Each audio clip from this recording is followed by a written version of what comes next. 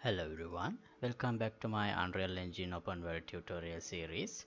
So today I'm going to show you how to make a continuous uh, ridge like this. Well, this uh, this is an automated process. So let me show you.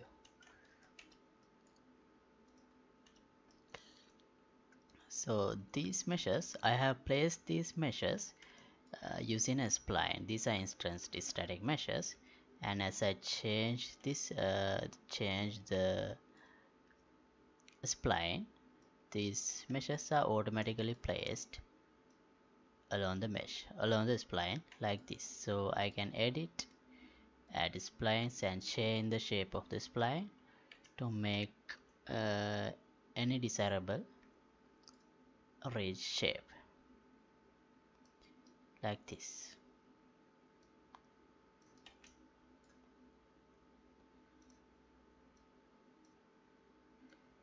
Okay so this is what I'm going to do today. And as always this episode is sponsored by these generous patreons. Thank you very much for the support you guys are giving me. Okay so yeah I'm sure most of you must have been playing with Megascans these days so I thought of doing something with that. So today yeah. This is uh, this uh, Icelandic what's the name of this? Icelandic lava cliff so yeah. And I'm going to yeah let's see how to make a whole ridge of this Icelandic lava cliff using static meshes. So placing by hand. So I'll place one of them and place it like this. And another one. Place it like this. And another like this so yeah. Now when I place it like that well this looks good but I can't really uh, let's say we are working on a open world type of a game and we have a really huge landscape. So doing it by hand like this? I don't really think it's very practical unless you have a huge team. So let's see a way to do this by without placing by hand at least up to some extent to automate this process. Okay. Right so to get started yeah I'll first delete these meshes I just placed and in my blueprints folder. Yeah I have created another folder named procedural. So here I'll create another blueprint. Let's call it um,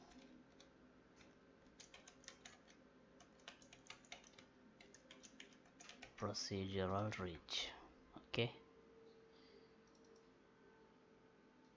And so I need a way to place those Icelandic lava spires, lava cliffs along some path. So define a path, the easiest way to do is add in a spline like this. Okay. So yeah, now let's place the spline, not the spline, this procedural ridge in the world.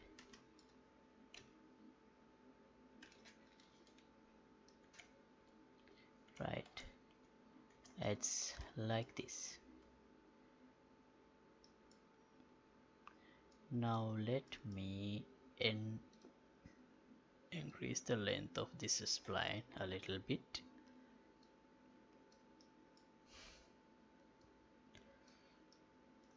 Okay mm.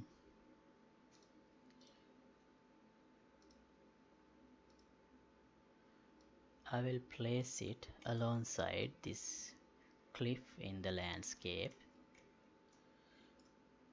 Oh no that's not necessary.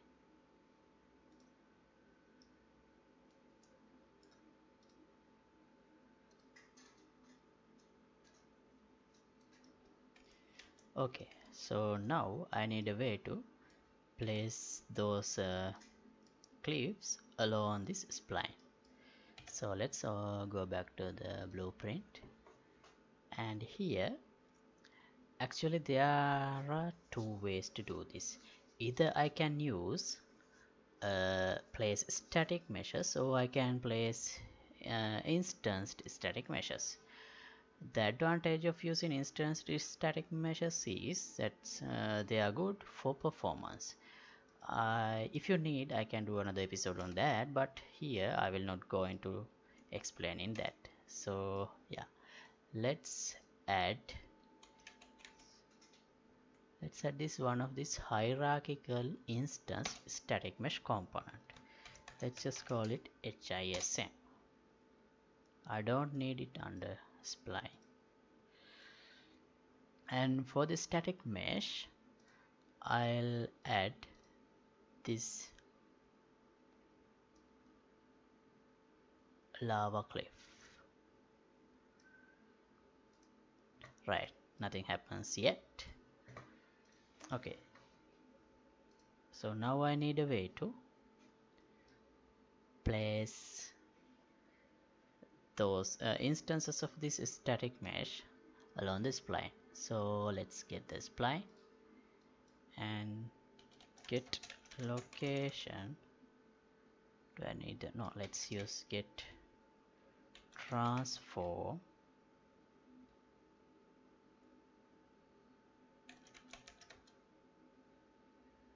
At distance along spline right. Now using this node we can get the location and rotation of each point along the spline also we can place instances of this uh, instanced static mesh like this. Add instance world space. So here for the world transform I need to give location rotation and a scale. Okay so let's do this once. I'll split this one as well and see what happens. Compile. Now that I have done this in the construction script therefore it should be automatically placed here alright here I need to select world space. And once I compile you can see yeah we have one of the one instance of that um, ridge. Let's rotate it to the other side.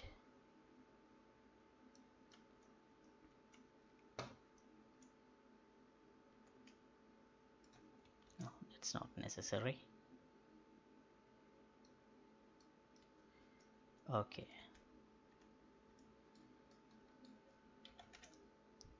Let's see the scale. I think scale is correct. Right. Now where's the cursor? Okay.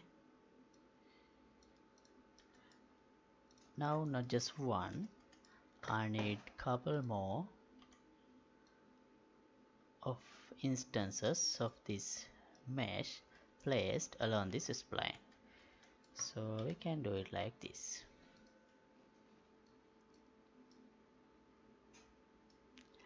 Let's promote this to a function.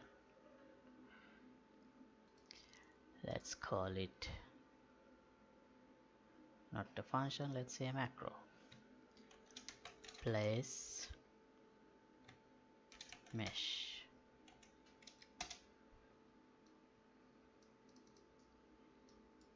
and let's take distance as an input. Like this. Now here we have that input. Okay then I'll promote this to a variable. Let's call it placing distance. Okay so after I place one instance I need an output here. Then uh, let's set distance. Let's set this one with an increment like this. I will add for the increment let me promote this also to a variable. Let's call it increment. And for the default value I'll give 1000 and then again I have to connect this like this but only if this placing distance is still on the spline that means we can get we can do a branch here like this. If this one is smaller than length of the spline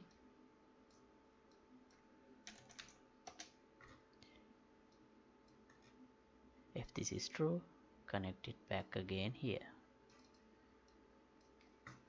Now if I compile this you can see there is a line of the same ridge. Well this is well this this will make things easier for you.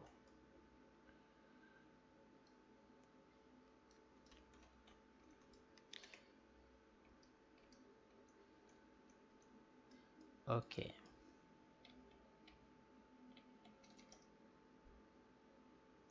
now now you see some kind of uh, like a tiling or a repeating effect here because we are not doing any we are not adding any randomization. So let's add some randomization.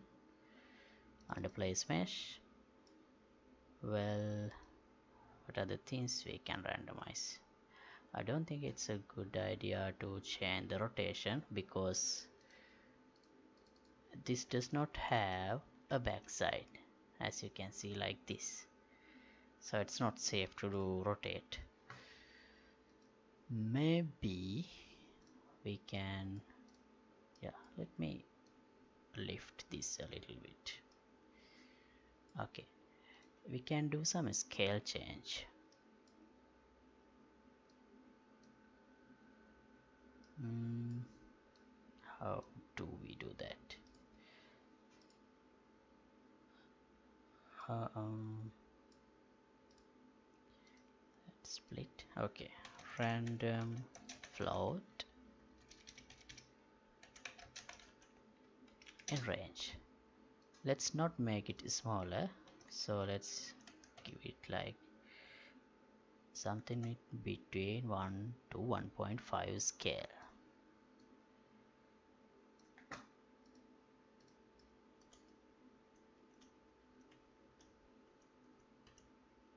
Okay.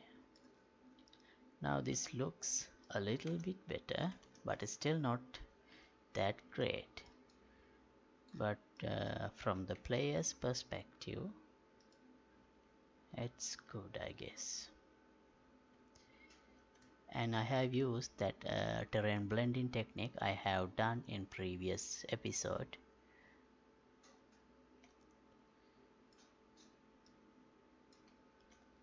Okay.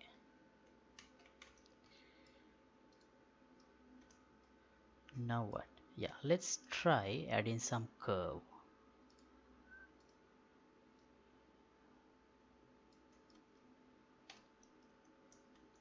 and see what happens. Well this still looks good. Let's do a complete circle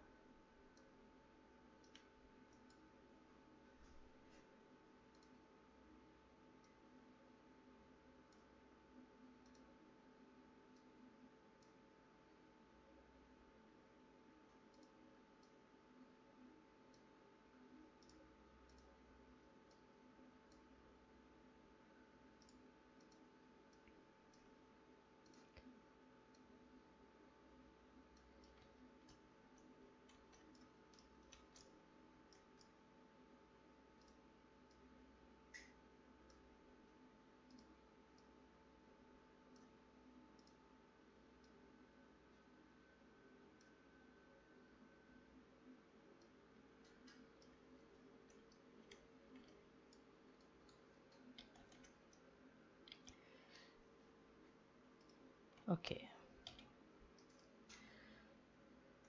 Alright so this is the procedural ridge. And yeah I'll stop this episode at this point. And in the next episode I'll continue to improve this effect. So because as you can see in the distance you can see this is pretty uniform and that's not really good. And also you can see some imperfections for in places like this and here. That is also not good. Right. Anyway I'll stop at this point and let's check